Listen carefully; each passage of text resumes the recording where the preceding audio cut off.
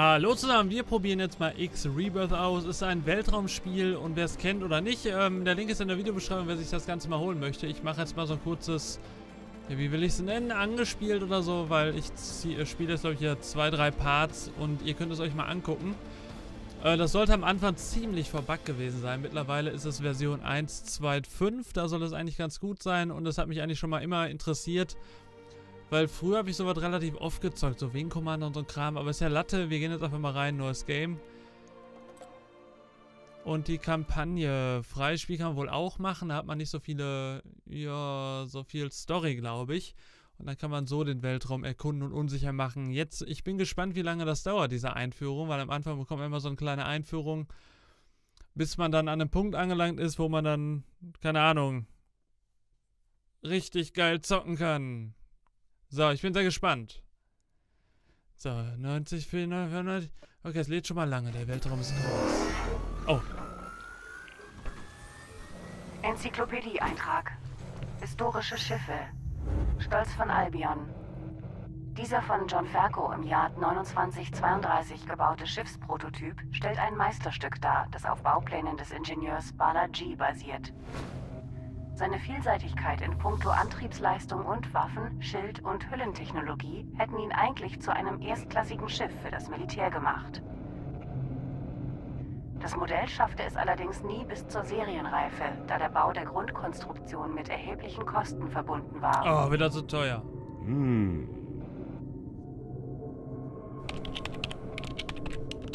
Hm, ich glaube, ich sitze an einem Rechner. Oh, das sieht nice aus.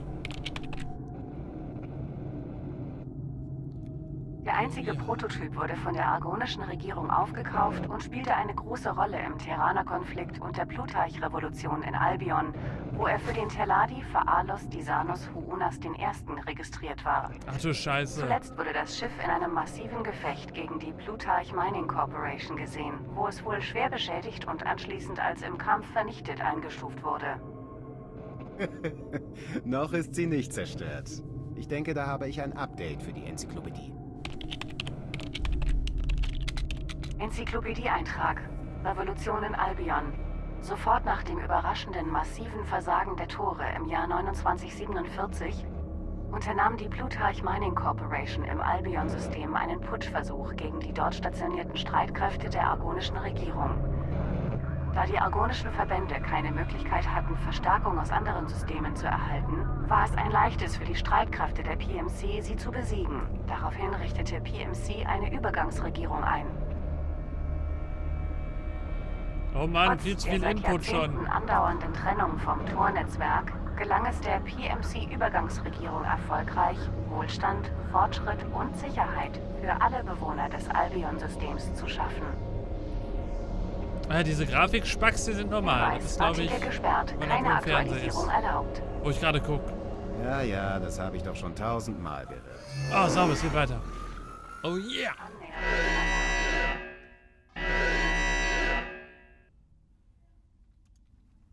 Hallo? Hey, ist da jemand? Ich brauche Hilfe. Ja, ich verstehe dich laut und deutlich. Mehrere meiner Systeme sind ausgefallen. Ich muss andocken. Okay, wähle aus den verfügbaren Gesprächsoptionen aus. Voll klein? Ich glaube, da drüben ist eine Andockvorrichtung. Ich bin mir aber nicht ganz sicher, ob sie funktioniert. Du bist dir besser sicher. Ich komme schnell rein. Okay, jetzt stehe ich wohl auf, gehe durch die Tür, gehe durch die nächste Tür und ich glaube, das habe ich schon mal angezockt. Und die Dialoge sind jetzt echt geil. Hey, alles in Ordnung? Ja, mir geht es gut. Danke. Wie bist du in dieser Kapsel gelandet? Ich wurde im Highway angegriffen. Es ging alles so schnell. Sie könnten immer noch in der Nähe sein. Du warst das super geile Schauspieler. Wir können zur nächstgelegenen Station fliegen, aber es wird eine Weile dauern. Wenn sie mich verfolgen, dann haben wir ein Problem. Lass mich nachsehen. Ja, genau. Lass mich nachsehen, weißt du? Die kommt auf mein Schiff. Ah, cool. Alles klar. Okay, die Maus. Alter. Ich muss da ganz kurz Einstellungen. Los. Und zwar die Sch Steuerung. Weltraum, Plattformmenüs, Weltraum, Weltraum, Weltraum, Plattformmenüs, Plattform. Okay. Achso, das ist die, die Sense. Die Sense muss runter. Gieren und nicken. Alter. Ich glaube zwar nicht, dass das jetzt unbedingt die Mausgeschwindigkeit hier beeinträchtigt beim Laufen, aber ich bin gespannt. Oder war noch was anderes? Warte, ich gehe nochmal ganz kurz rein. Müsste da ganz kurz nochmal dabei sein. Steuerung. Controller, Joystick, Weltraum und egal. Okay, wir gehen weiter. Aber interessant, das kann man auch mit Joystick spielen. Ich glaube, die, äh... Hallo? Achso, linke Maustaste. Diese Flugspiele oder generell Weltraumspiele sind mit dem Joystick sowieso prädestiniert. Wenn das ein ausgeklügelter Versuch sein sollte, mein Schiff zu klauen, dann hättest du besser gewartet, bis ich meine Reparaturen abgeschlossen habe. Du machst keine Witze. Das Ding sieht wirklich schlimm aus. Du bist Ingenieur? Techniker. Ich arbeite für Herz von Albion und führe Sicherheitsüberprüfungen in Arbeitsbereichen wie Schiffen, Produktionslinien oder ähnlichen Dingen durch. Yisha Terran. Ren Otani. Und wenn ich mich nicht irre, ist das hier die Stolz von Albion. Du kennst deine Schiffe. Ich habe es hier in der Nähe aufgelesen. Seitdem versuche ich es wieder in Schuss zu bringen. Ein Spaßvogel dachte wohl, es wäre lustig, die Schiffs-ID zu Albion Skunk zu ändern. Ich sollte wahrscheinlich meine Leute wissen lassen, dass es mir gut geht. Damit kann ich dir nicht helfen. Ich bin hier, weil ich nach einem Hochleistungstransmitter gesucht habe. Ja, stimmt. Es ist wohl das Beste, wenn wir zu einer Station fliegen. Warum hat hier so einen komischen weiter, wenn ich die? Antriebe etwas aufgewärmt habe. Ah, drücke leer, um die Maussteuerung zu aktivieren, deaktivieren. Dann fliegst du in die Richtung des Mauszeigers. Ah.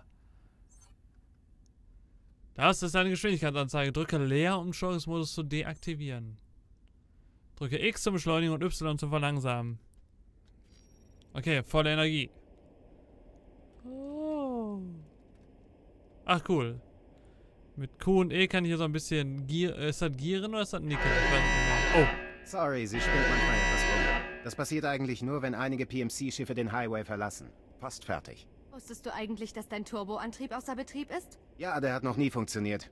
Liegt wohl an. Moment. Oh. Turbo offline. Genau, hat die mal eben repariert, aber egal.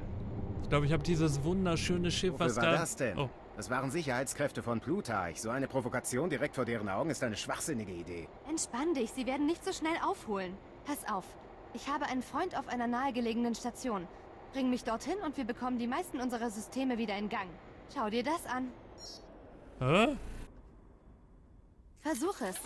Die Manövriertriebwerke sollten jetzt besser reagieren. Also das hier, oder was? Oder wa- was meint ihr jetzt? Ich habe keine Ahnung. Oh. Halte Tab gedrückt, um den Turbo zu aktivieren und längere Distanzen schnell zu überwinden. Aber wo soll ich denn hin? Wir gehen mal zu der... Kann ich nicht erkennen. Achso, das ist meine Quest. Repariere Albion Skunk. Gut. Wie hast du das gemacht? Die Hälfte deiner Systeme befand sich im abgesicherten Modus. Ist sie in einen Kampf geraten? Sie ist so, seit ich sie gefunden habe. Wie wäre es, wenn wir dich zur Station bringen? Fliege zu Schlafender Riese. Schlafender Riese ist da. Okay, dann fliegen wir da mal hin. 17 Kilometer und ab geht's. Ich soll vielleicht auch mal Normalgas geben. Wie war nochmal X oder was, ne? X? Achso, da ist mein Schub. Ah, ich verstehe, okay. Achso, und jetzt habe ich meinen Mauszeiger hier, okay. Und wieder an und wieder weg. Egal, wir rasen erstmal hin. Komm, komm, wir rasen da hin. Das ist, glaube ich, der Highway. Davon habe ich mal gehört.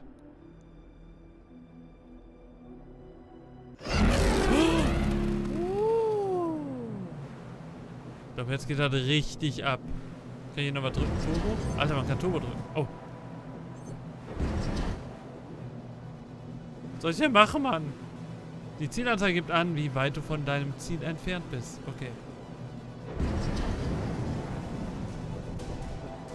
Ah, wenn ich Turbo mache, dann, dann bin ich irgendwie äh, schneller. Oh, geiles Zitat. Zitat Twitter. Wenn ich Turbo mache, bin ich schneller. Muss ich jetzt hier raus? Weil hier ist auch irgendwo, warte ich mal, hier, hier, da geht irgendwie so, ein, so eine Anzeige noch runter. Hört, sie- sieht so aus zumindest. Oh, raus. Voraus ist die Ödlandkolonie. Nicht gerade ein Quell der Luxuriosität, aber einladend genug. Warte, ich wollte mal einmal reduzieren, einmal rumgucken. Okay, ich glaube, da war mal ein Planet. Oh, das Schiff kann aber ganz schön schnell sich drehen. Ne? Das ein bisschen komisch. Aber egal, mal gucken, was da hinten ist. Wie gesagt, früher so Wing Commander und so habe ich echt oft gezockt. Was heißt oft sogar durch? Achso, hoch runter. Ah. Und Energie. Mal ein bisschen schneller. 4 Kilometer, 3 Kilometer, 2 Kilometer? Oh. Hülle 100%, Lager 0, Waffensystem neutral, ja interessant. Äh, ich will jetzt rein. Los.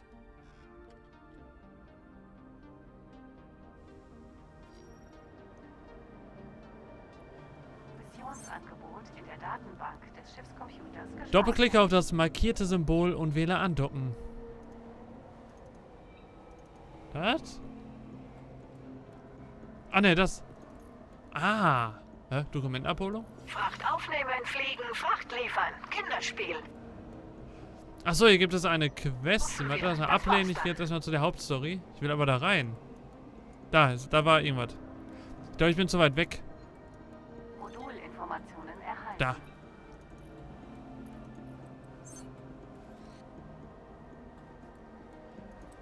Produktionsmenü. Okay, das ist, glaube ich, noch ein bisschen konfus. Gut, wir fliegen mal weiter rein. Wir müssen, glaube ich, näher dran, um da mal zu landen.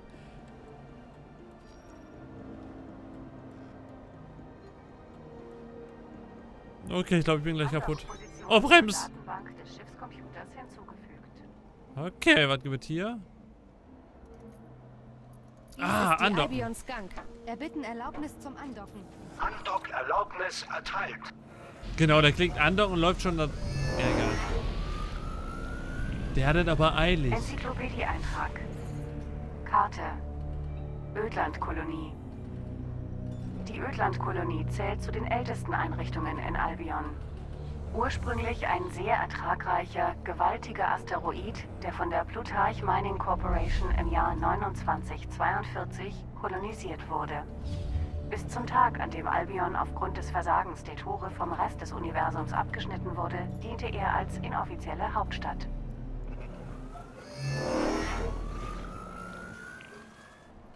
Du möchtest also, dass ich diese alte Schrottkiste kostenlos wieder zusammenflicke? Es ist nicht allzu viel und ich denke, dass ich mir ein paar Gefallen verdient habe. Du hast einen, genau einen Gefallen. Du machst mehr Ärger, als dass du mir nützt. Okay, Junge, ich bringe dein Schiff in einen vernünftigen Zustand. Das schließt Waffen mit ein.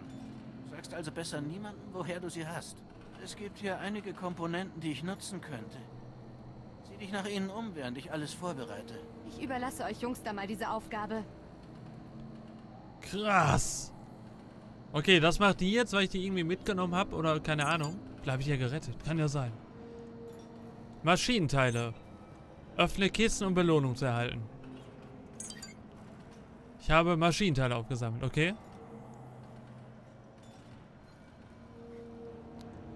Okay, haben wir noch mehr Kisten? Alter, wie viele, wie viele Leute hier rumstehen. Und man kann mit allen reden. Rennen kann ich nicht, obwohl ich renne, glaube ich, sowieso schon. Technikerin. Hallo, Pilot. Was kann ich für Sie tun? Ich möchte Sie anheuern. Negativ. Okay. Ja, worum geht's? Wo finde ich äh, Polizeichef, Service, äh, Bewerber, Händler zurück. Ne, hab ich keinen Bock drauf. Bis zum nächsten Mal. Also ich halte mich, glaube ich, erst an die Quests. Ah, spreche mit Hazen Derby. Ah, das ist Hazen Derby.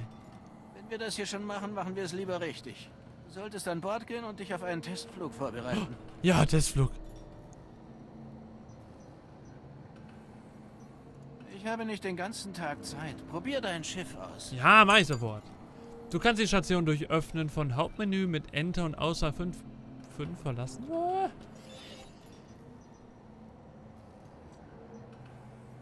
Ah, 5, 5. Ah, ich denke, man kann auch die Zahlen drücken. Was vielleicht gar nicht so schlecht ist. Aber wir sitzen mit einem Schiff. Mit meiner neuen Freundin. Systeme sehen gut aus. Waffen arbeiten. Lass uns das Zielsystem einem kleinen Oh. Test unterziehen. Stationskontrolle an Ren Otani. Sagen Sie mir, dass das nicht beabsichtigt war. Die gelben Symbole sind Missionsziele. Du kannst sie auswählen. Oh, oh nein, oh nein, oh nein. Kann ich denn so drehen?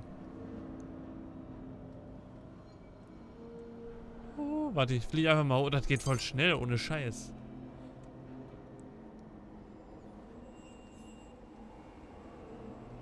Ah, jetzt weiß ich. Oh, witzig. Ich war nicht drin. So, warte, ich kann sie auswählen. Dann bremse ich mal eben. Obwohl, drei Kilometer entfernt. Ich wähle sie einfach mal aus. Probiere am besten mal aus, ob die Waffen funktionieren. Warte, bremsen. Boah, sind da viele Knöpfe. Mit dem Bergbaulaser sollte es schneller gehen.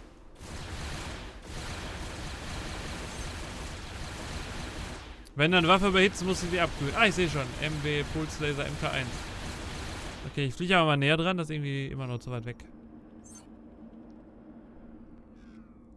Drücke N, um die Waffe zu wechseln. Mal gucken, was da kommt.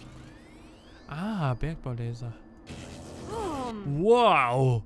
Es ist eine Schande, dass du kein Großschiff mit Sammlerdrohnen hast. Die Mineralien in diesen Felsen werden in vielen Industrien genutzt. Das ist ja geil, wenn du...